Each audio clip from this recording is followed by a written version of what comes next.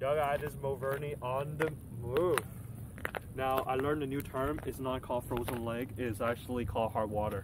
Here at Gail's Hot Box Huts, we're by doing my first ice fishing.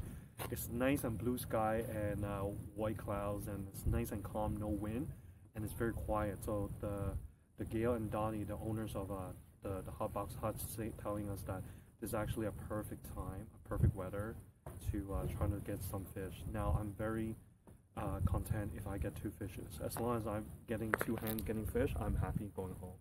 All right, thank you to uh, Gail's Hot Box Fish Huts here, right here in the Cooks Bay in Nick Simcoe, home of all the fishes.